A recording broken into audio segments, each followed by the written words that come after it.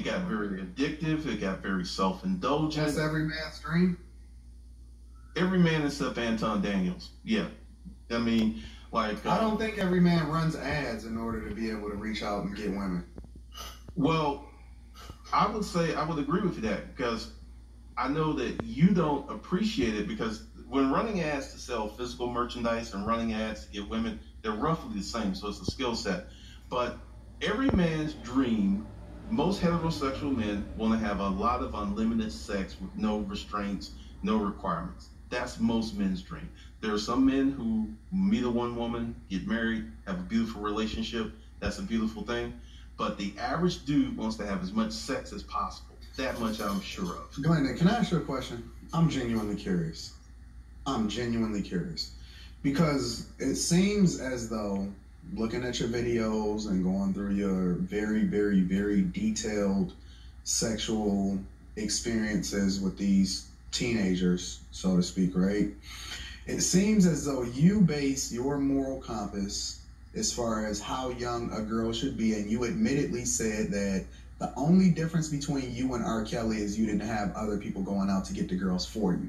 That's word for word exactly what you said. The only difference between you and R. Kelly is that you didn't have he didn't have you didn't have girls going going with him, and you said that you wasn't as big as R. Kelly. That's A, right? But B, you justify the behavior by saying that it's legal or you felt that it was legal or whatever, right?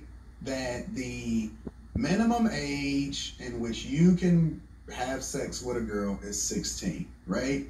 Do you base your decisions as to who it is, because you said you like young girls, who it is that you want to have sex with based off of what the law says and not necessarily based off of your own your own decisions as to how old or how young they should be. All right.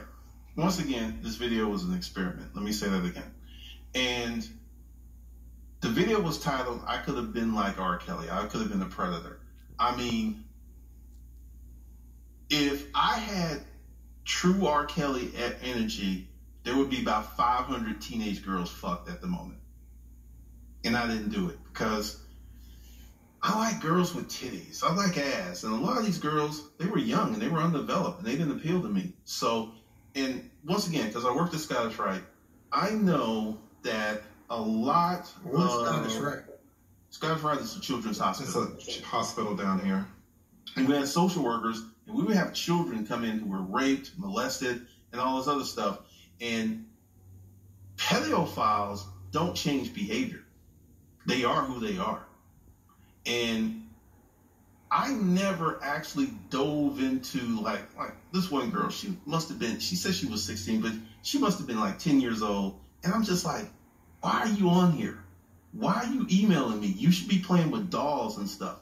So I did not base my acceptance on age. I based my acceptance on was she hot? Did she look a certain way?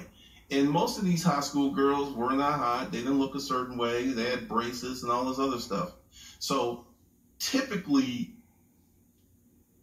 I would say the medium age for the women that I engaged off Craigslist was about 28 to 32. That's where the bulk of them were. So I wasn't like hunting down children and, you know, it was funny. But in that video, it was an experiment. And we will see how it goes because a lot of people got outraged. I have people leaving comments on all of my channels and it, it, it's just wow. You didn't answer the question, Glendon. I said, do you determine how young the girl is as far as what? I did answer your question. I said age has nothing to do with it. I don't go after girls who are young. But you, wait, wait, wait, wait, wait, wait, wait, wait, wait, hold on, hold on, hold on, wait, wait, wait, wait, come on now. You you said you just said that you don't go after girls who are young, but I don't go after teenagers. Let's put it that way. I do like young women, 28 to about 35. Yes, I did. Guilty. You literally described in detail how you love young girls. You love you word for word. I love young pussy. Once again, uh, once again, that wait. video was an experiment. Seventeen-year-old girls' tits were. You described in detail. Yes, I did. In the video, that was an experiment. How awesome it was, and then when you found out her age and you found out she was still 17 and she wasn't 18 yet, you kept going. You sp- admittedly said, I love young girls, word for word. That's what you said. Was it a lie? Because you if it is, then you told it. And to be clear, you did say that the, vid- the, the video was an experiment, but you also said in that experiment everything was true except for the Their ages. the ages that you changed. But you but you didn't say, you know, when I said I love young girls or I love young pussy or that whatever, you didn't say I actually I do like young women. You know, 28 to 32. I am 54 years old. I do like them. I don't like teenagers because one of the things is you can't really talk to a teenager. You know, they don't have no life experience. Here's the thing, because you described R. Kelly's appetite.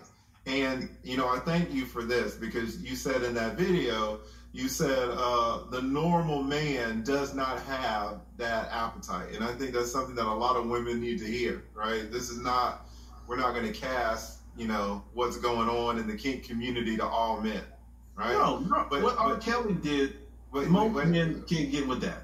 Right. But what you did say is that you kind of have that appetite. And you said, and this is a quote, there is something special about fucking a young girl that doesn't have a lot of miles on her. Now, you know, and this is not a shot at any 28 year olds. 28 year olds in Atlanta got a lot of miles on them, right? That's not a shot. It's not a shot, but it's true. It's true. So you, let's be honest, Linda. When you, I, I will I will share some with you. I will share some with you. I've managed to meet four millionaires through these ads, and I managed to meet many women who were 20 something to 30 something that didn't have a lot of miles on them. Because